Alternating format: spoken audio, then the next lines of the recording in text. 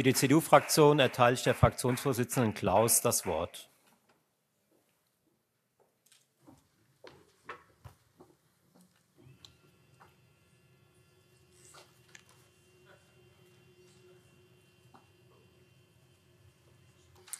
Sehr geehrter Herr Präsident, meine Damen und Herren! Jedes Kind hat das Recht auf eine unbeschwerte Kindheit.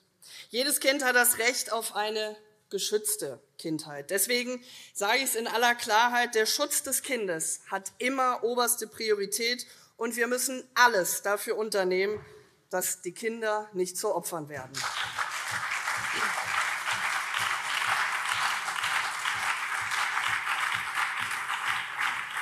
Doch die Realität zeigt uns, dass dieses Recht viel zu oft verletzt wird. Es ist also unsere gemeinsame Verantwortung als Gesellschaft und als Staat, dafür Sorge zu tragen, dass jedes Kind den Schutz erhält, den es braucht und den es auch verdient.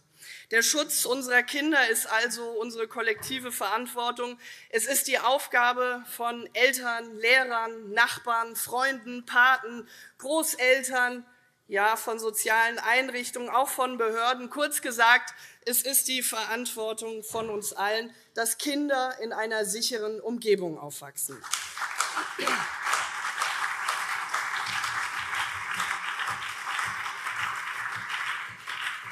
Täglich werden in Hessen 45 Kinder und Jugendliche Opfer von sexualisierter Gewalt.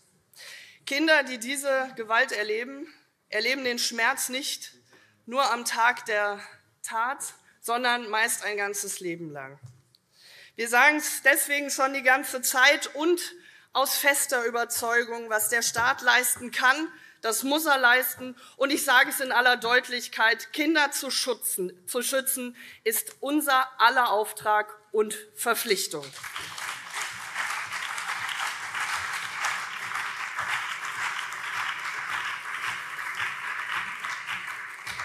Wir müssen als Gesellschaft aufmerksam sein und die richtigen Stellen sensibilisieren.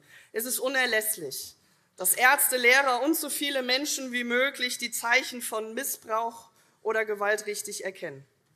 Und ich darf sagen, seit Jahren setzt sich die CDU in Hessen dafür ein, um Kinder vor Misshandlung und Missbrauch oder Vernachlässigung zu beschützen und Strukturen aufzubauen, um sie besser zu beschützen. Dafür haben wir nämlich im Jahr 2008 bereits das hessische Kindergesundheitsschutzgesetz erlassen, als bundesweit erstes Land, das Vorsorgeuntersuchungen verpflichtend gemacht haben. Das heißt, wir haben von der U1 bis zur U9 uns darum gekümmert, dass Kinder zu Vorsorgeuntersuchungen müssen, um festzustellen, ob es Gewalt, ob es Missbrauch oder Vernachlässigung gibt. Wir waren die Ersten, die sich ebenso darum gekümmert haben, dass das Kindervorsorgezentrum auch die persönlichen Vorsorgeuntersuchungen einfordert, dass die Kinder auch wirklich erscheinen, um ein Auge drauf zu haben, um den Schutz gewährleisten zu können. Wenn es allerdings zu Misshandlungen oder Missbrauch, Vernachlässigung gekommen ist, müssen wir diese Kinder auch bestmöglich unterstützen. Die sogenannten Kinderschutzambulanzen arbeiten sowohl im ambulanten und stationären Bereich und beraten andere Kliniken sowie Ärztinnen und Ärzte. Mit ihrer Arbeit stellt die Kinderschutzambulanz die interdisziplinäre Diagnostik und Behandlung von misshandelten, vernachlässigten und sexuell missbrauchten Kindern und Jugendlichen sicher. Sie sind zentrale Anlaufstellen für Verdachtsfälle von Kindeswohlgefährdung in Hessen. Bei uns in Hessen gibt es drei Kinderschutzambulanzen. Die medizinische Kinderschutzambulanz an der Uniklinik in Frankfurt, die ärztliche Kinderschutzambulanz an der Kinderklinik in Kassel und die Kinderschutzmedizinische Institutsambulanz an der Darmstädter Kinderklinik Prinzessin Margret. Und ein ganz weiterer oder wichtiger weiterer Baustein wenn bereits Kinder Opfer von Gewalt geworden sind, ist das Childhood House. Über das haben wir heute schon viel gehört und ich finde es richtig so, dass wir schon viel darüber gesprochen haben, denn dieses Childhood House in Frankfurt leistet eine so wichtige Arbeit, dass die Kinder, die schon Gewalt, Missbrauch erfahren haben, Opfer einer Tat wurden, nicht mehrfach Vernehmungen ausgesetzt werden, sondern dass sie an der Stelle eben auch eine Anlaufstelle haben, wo sie wissen, dass sie sicher sind. Das ist ebenso ein Punkt, der für uns ganz wesentlich ist.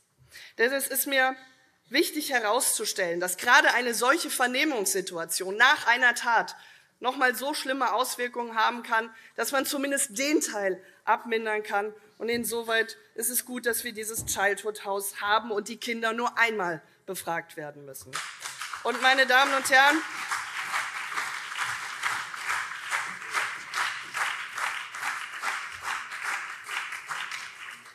Kinderschutz bedeutet auch, dass wir Kinder stark machen. Es bedeutet, dass wir sie über ihre Rechte aufklären. Kinder müssen wissen, dass ihr Körper ihnen gehört und dass niemand das Recht hat, diese Grenzen zu überschreiten. Kinder müssen wissen, dass sie sich wehren dürfen, dass sie laut sein dürfen, dass sie Nein sagen dürfen. Und Kinder müssen wissen, dass es Erwachsene gibt, denen sie vertrauen können. Und deswegen ist dieses Childhood House so wichtig. Und sehr geehrte Frau Staatsministerin Stolz, es ist eine herausragend wichtige Nachricht, die Sie heute in Ihrer Regierungserklärung gesendet haben, dass es ein weiteres Childhood House in Nordhessen gibt, damit genau das erfolgt, was ja auch gefordert wird, dass wir ein flächendeckendes System in Hessen haben. Vielen herzlichen Dank für diese Aussage.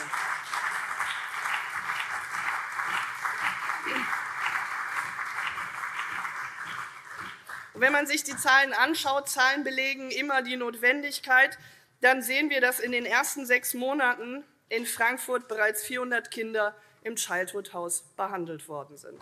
Eine Zahl, die wirklich beeindruckend ist. Gleichzeitig müssen wir aber dafür sorgen, dass die Täter auch zur Rechenschaft gezogen werden. Sexualisierte Gewalt gegen Kinder darf nicht ungestraft bleiben, vor allem nicht wegen Strafverfolgungslücken weil wir nicht in der Lage oder nicht willens sind, den Straftätern im Internet mit entsprechenden Instrumenten zu begegnen. Bei Straftaten, die im Internet verübt werden, ist die IP-Adresse der effektivste und einzige Weg, den Täter zu identifizieren. Hinter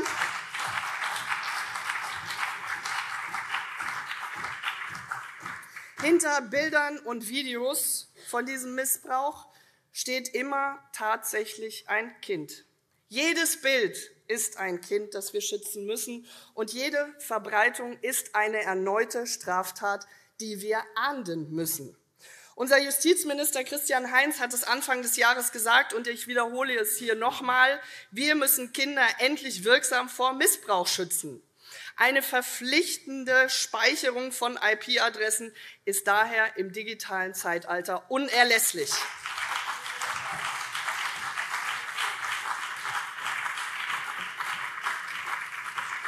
Meine sehr geehrten Damen und Herren, es ist ein großer Erfolg der christlich-sozialen Koalition in Hessen, dass der Bundesrat vor zwei Wochen unserem hessischen Gesetzentwurf zur Speicherung von IP-Adressen zugestimmt hat. Damit können wir nämlich die verfassungsrechtlichen Spielräume endlich nutzen, die der Europäische Gerichtshof in seinen Urteilen aus dem Jahr 22 im Oktober und im April 24 aufgezeigt hat. Das war vor ein paar Monaten in Hessen noch nicht möglich. Aber jetzt ist es gut für Hessen und gut für die Kinder in Hessen, meine Damen und Herren. Denn ohne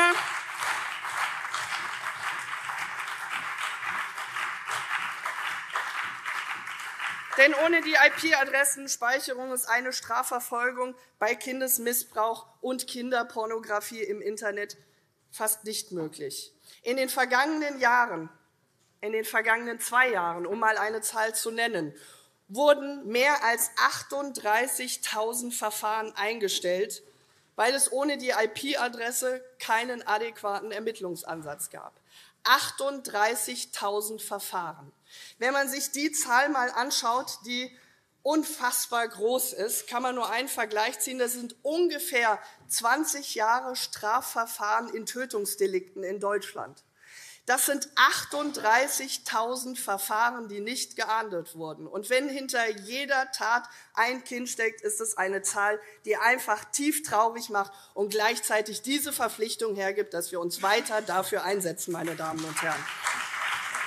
Das ist für mich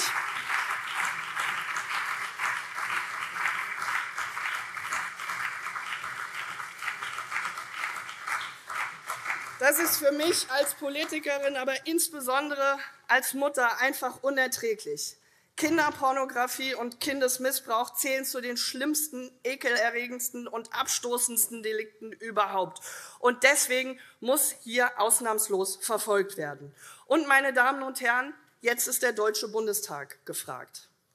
Und nach diesen Bekenntnissen heute hier im Haus hoffe ich, nein, erwarte ich, dass wir eine Zustimmung auch im Deutschen Bundestag dafür bekommen, dass die IP-Adressenspeicherung endlich erfolgt, meine Damen und Herren.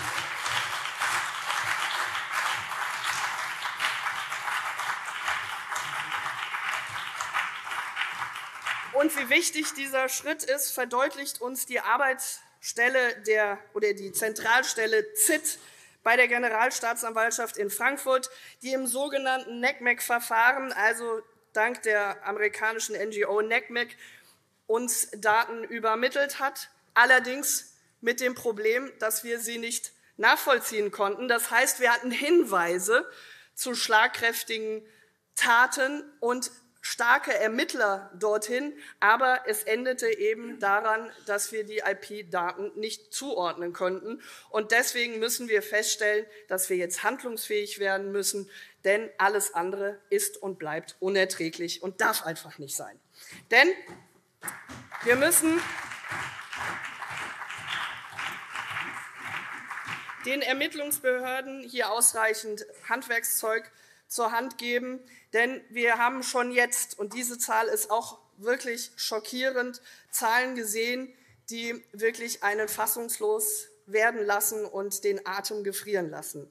Wenn wir die Erfolge sehen, die die ZIT vorgenommen hat, dass die Kinderpornografie-Plattformen Boys Town und Elysium ausgehoben wurden, dann stellen wir fest, dass auf diesen Foren 400.000 Nutzer waren. 400.000 Nutzer. Und ein Nutzer davon hatte 3.500 Beiträge. Das sind Taten und Zahlen, die machen fassungslos und sollen wirklich jetzt nur dafür sorgen, dass wir an der Stelle endlich weiter handlungsfähig sind, meine Damen und Herren. Bereits im Jahr 2020 haben wir aber die BAO Fokus gegründet in Hessen. Und auch hier sind die Zahlen eindrucksvoll.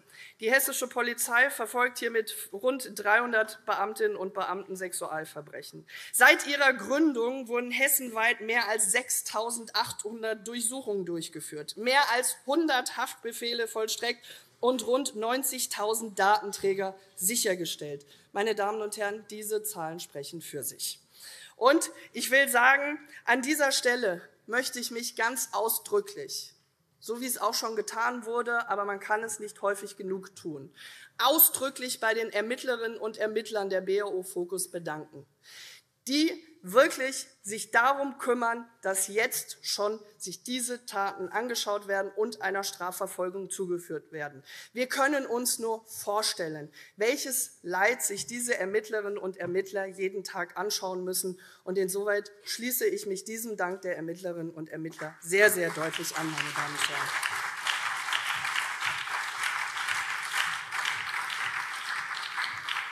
Im vergangenen Jahr haben wir deswegen auch die Zulage auf monatlich 300 Euro erhöht, um ein Zeichen zu setzen. Natürlich ersetzt Geld nicht den Graus, den diese Ermittlerinnen und Ermittler sich anschauen müssen, aber es ist ein Zeichen, das uns wichtig war.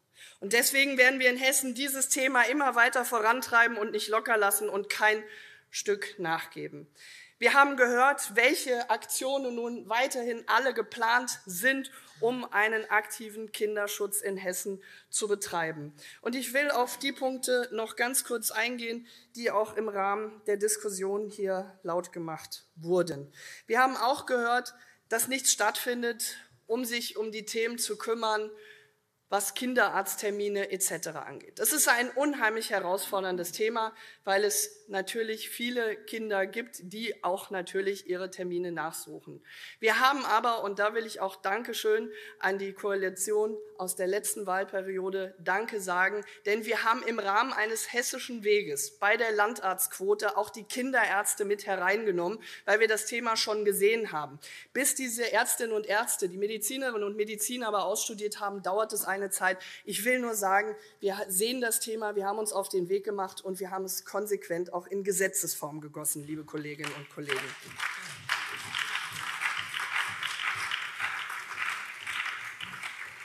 Und ich zitiere aus dem aktuellen Koalitionsvertrag. Dort können wir nachweisen, wie wichtig uns das Thema ist dass alle Institutionen und Vereine, in denen mit Kindern und Jugendlichen gearbeitet wird, diese unterstützen wir bei der Entwicklung und Umsetzung von Kinderschutzkonzepten. Wir werden die Pflicht zur Meldung von Verdachtsfällen der Kindesmisshandlung oder Kindesvernachlässigung auf alle Institutionen ausweiten, in denen mit Kindern gearbeitet wird. Die erfolgreiche Arbeit der hessischen Kinderschutzambulanzen wollen wir weiterhin finanziell unterstützen und ausbauen. Das ist ein kräftiges Bekenntnis dass wir in den Bereichen eben weitergehen wollen und diesen erfolgreichen Weg nicht verlassen wollen. Und es geht dabei natürlich um die Gesundheit insgesamt von unseren Kindern. Und deswegen bin ich der Staatsministerin dankbar, dass sie das Thema Medizin und Kinder, Kindermedizin zusammenfasst, um ein umfassendes Konzept dort aufzutun. Da gibt es viel, was es jetzt zu diskutieren gibt. Insoweit auch ein äußerst wichtiger Baustein, den wir heute in der Regierungserklärung gehört haben. Und, meine Damen und Herren, all das, von dem wir heute reden, also die IP-Adressendatenspeicherung, die Ermittlungsbehörden, namentlich Fokus und ZIT, die Prävention durch U-Untersuchungen, Aufklärung in Schule und Kindertagesstätten sowie die Landeskoordinierungsstelle, all das tun wir ausnahmslos aus einem Grund. Und da bin ich wieder am Anfang. Wir wollen nicht, dass aus unseren Kindern Opfer werden. Es geht einzig um, und alleine um das Wohl des Kindes. Und da möchte ich meinen Dank an alle richten, die sich täglich genau dafür einsetzen. Und mein ganz besonderer Dank, das sei mir zum Schluss erlaubt, gilt hier insbesondere den Pflegeeltern. Sie sind es nämlich, die ihr Familienleben, die ihr Herz, ihr Haus für die Kinder öffnen, die das Schlimmste erfahren haben.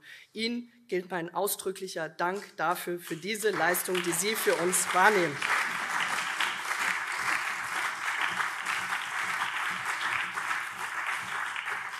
Und meine sehr geehrten Damen und Herren, es ist kein Lippenbekenntnis, es ist die Wahrheit. Kinder sind das größte Geschenk, das man haben kann und die Zukunft unserer Gesellschaft. Und so sollten wir sie auch behandeln. Jedes Kind hat eine unbeschwerte Kindheit ohne Missbrauch, Gewalt und Zwang verdient. Das ist und bleibt unser Ziel. Daran arbeiten wir heute und auch in Zukunft. Und wir werden nicht davon abweichen, Kinder zu schützen. Denn das ist die oberste Priorität. Vielen herzlichen Dank für Ihre Aufmerksamkeit.